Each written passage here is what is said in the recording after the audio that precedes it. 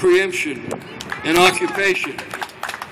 A lot of us don't even feel we should be armed to defend ourselves. Nonviolence and democracy are what we want to use as we live together in a society.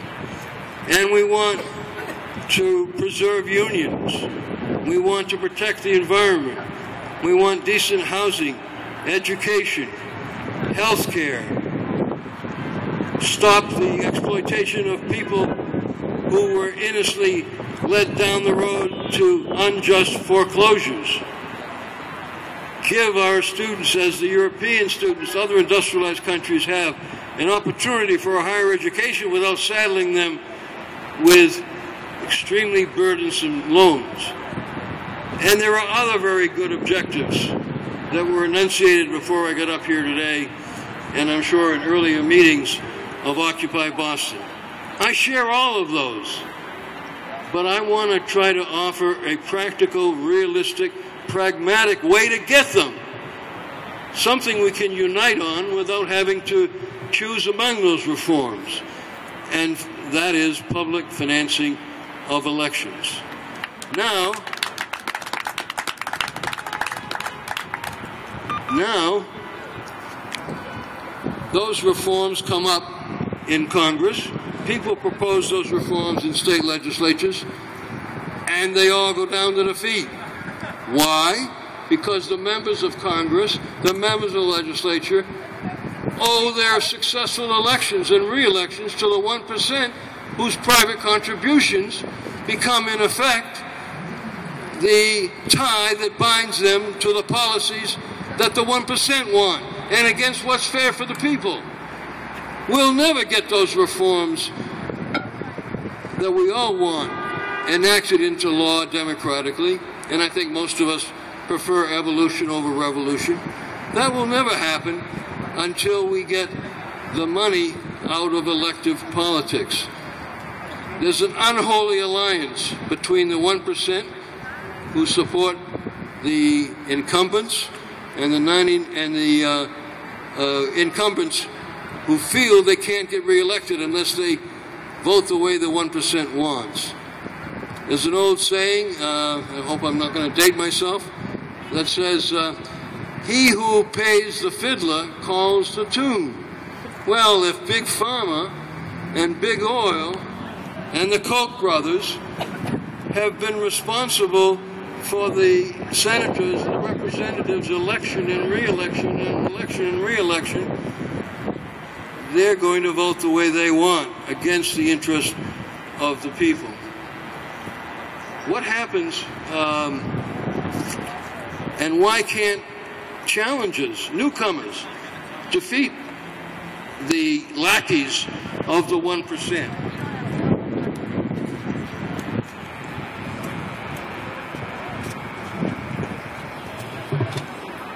I saw that, as I say, when I ran for the Massachusetts legislature.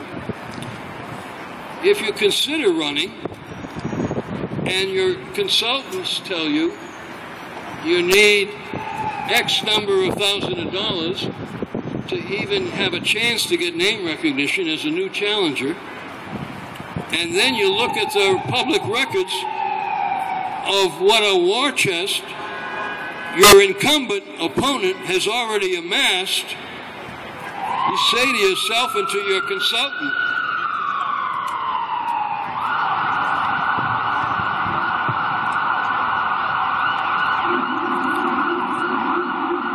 say when you face these war chests of money the fundraisers produce and the solicitations produce, do I have a chance to win? And if you have an honest, good consultant, I'll tell you not really, but why don't you run once, you'll lose, run again, you get a little name recognition. You should live so long, you might come close. Keep running. That's not realistic, and that doesn't do the job. The incumbent is still reelected. What you have to do, and what my consultant told me is, you got to play the money game, the capitalist game. You got to find some rich people like the Kochs to underwrite your campaign. You've got to spend a half of your time campaigning dialing the phone for dollars. I tried the best I could. What a demeaning experience. Calling up practical strangers and saying, I'm Jules Levine, I'm a good person, I worked and I studied hard and I graduated from Harvard College and Harvard Law School and I got a PhD at Oxford and I've given up uh, the private practice full time so I don't make as much money as a law professor at BU and I'd like to now do public service in a more direct way. Will you contribute to me? Who are you, they say? Um, you know, you get a few. And I don't think I'm alone. I mean, I get discouraged. Even Governor Patrick, who had won election to governor in 2008, I think it was, so the anecdote goes, had a minute to chat privately, or at least almost alone, with President Obama when he was here to campaign for Martha Coakley running for senator in 2010. At that time, Patrick hadn't decided or announced whether he was going to run for reelection. And so what I have 10th hand is the president said, you know, how are things, Deval? They're, they're friends from Harvard Law School. And Deval said, fine. And he's, the president said, I understand you're doing a good job as governor. Your ratings are up in the polls. Yeah, he said, so I assume you'll be running for reelection. Well, the governor said to his friend, the president, I'm not sure. I might not. The president says, why not? Well, he said, I hate to ask people for money. Of course, we know in the end he did, and he won, and he's a good governor. But for everyone who is a friend who's a president and other ways of making up for not being rich themselves or not having the rich backers, there are so many more who would be honest, upright legislators, but they never get a chance to win. That's why, for example, in Massachusetts, for the legislature, about 75% of the state senators and representatives run every two years unopposed, no matter how bad they are, no matter how much they want to trample on the futures of our children and grandchildren. And it gets worse. When there is a challenge, as I did, 90% of the incumbents beat the challengers. Not only because of the war chests and the moneyed interests behind them, but even the do-gooder organizations, even the pressure groups, like the Sierra Club, NARAL, unions, you can go on and on, turn out to do two things that makes it hard to beat an incumbent, as happened to me. They always send you a beautiful questionnaire. Looks fair. As a candidate, you spend time, you fill it in, and you mostly answer about how you would vote on the particular issue that pressure group works for. I did. I spent time for it. And I sent it in. And a couple of those groups didn't endorse at all, which was something of a victory for a challenger, but more did.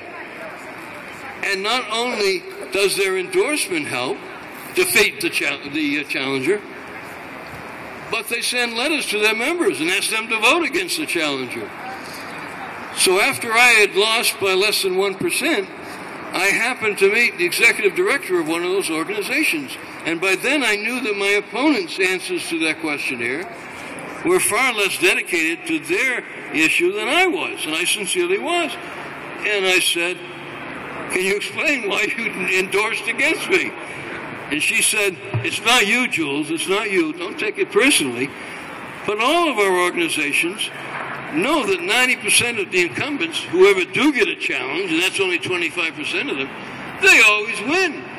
So we owe it to our members to endorse them so we'll have some cachet with them when we bring our bills to them in the legislature. So it's a very uphill battle to ever dislodge the reps and the senators that are put into office by the 1%. The other very surprising thing I learned in my campaign was that after I'd raised some money, and I had to report it, as my opponent does, at least we have that much electoral reform in this state, publicly, I knew who had contributed to me, and I went to the uh, office of the OCPF in the State House area and looked at the reports by my opponent. They weren't online then. This was 1996. So I went up there in person, and I saw who endorsed him, and I wasn't too happy, perhaps. Then I came to one that was one of my biggest in, uh, in uh, one of my biggest contributors, and that contributor had also uh, contributed to my opponent. In other words, they don't really care who it is. They want to enslave whoever's going to be in the place where the votes are going to come to defeat the reforms that we want. And that's perfectly okay in capitalistic elections, right? Nothing wrong, no, not unethical, uh, not illegal. Um,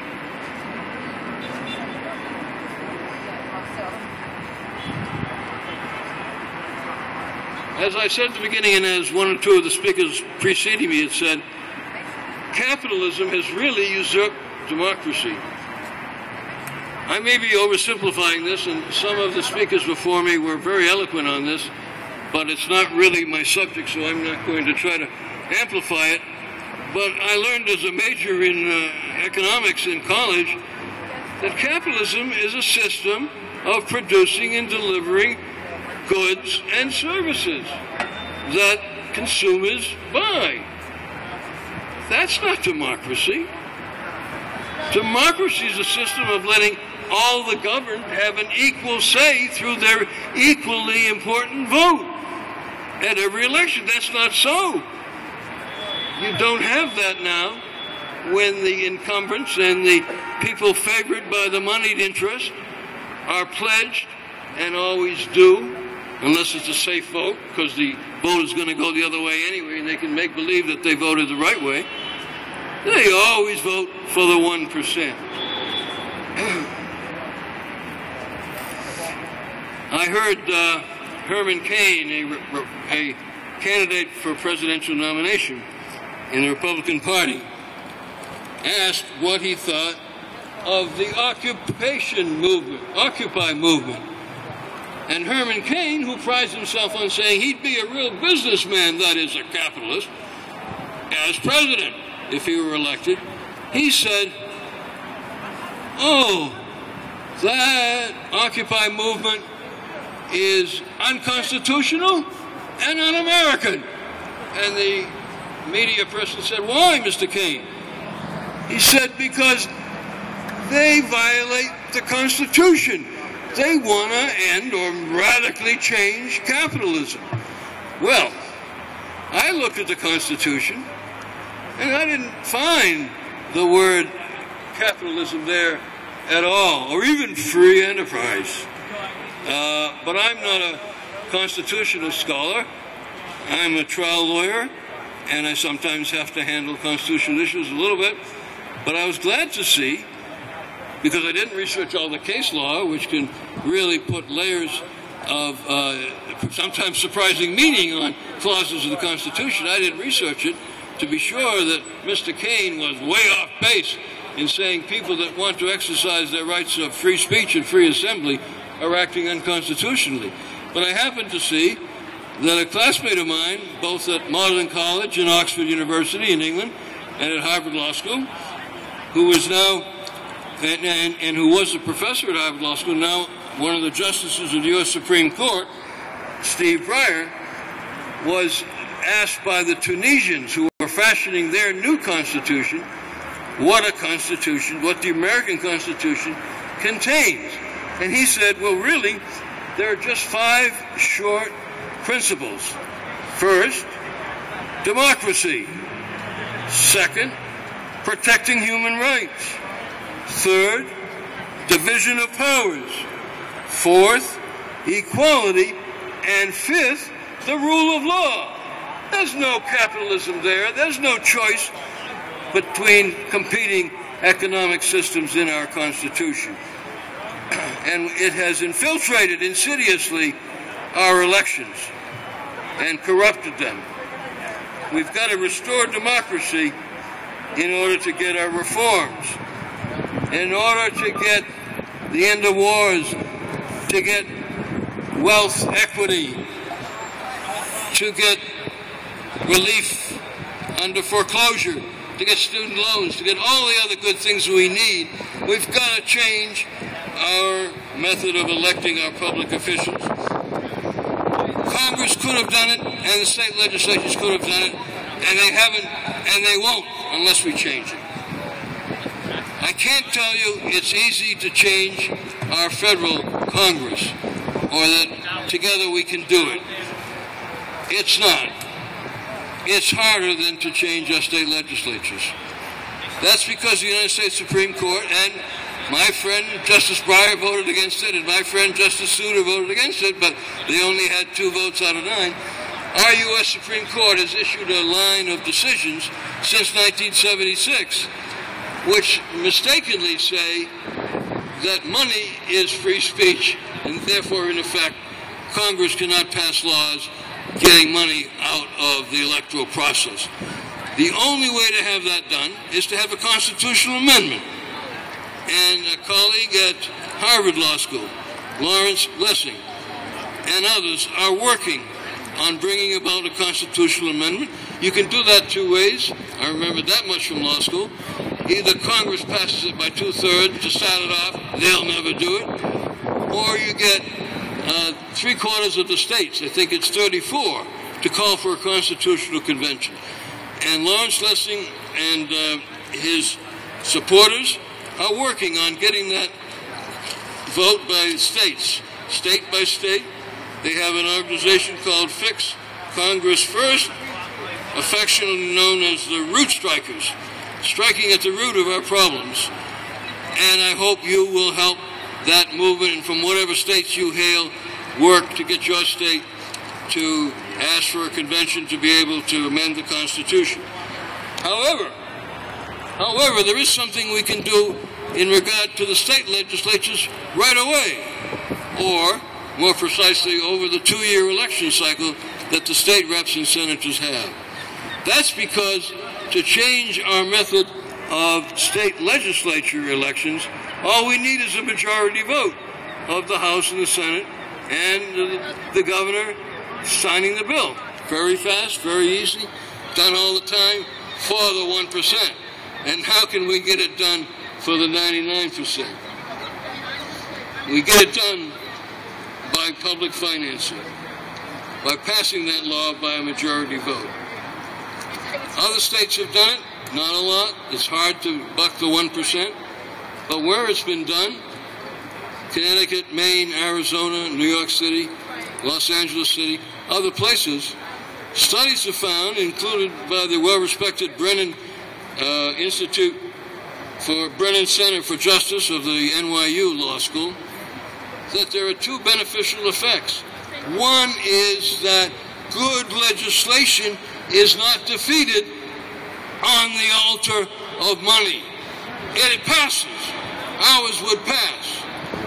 The second thing that happens is there are no, not 25% of the members of the legislature without any opponent every year, far higher percentage of challenges opposed, because what the public financing law does is it gives each candidate the same amount of money in general, and prohibits any private contributions for the campaigns of anybody. So the 1% are not allowed to buy the reps and senators and thereby buy the votes against the reforms we all work for.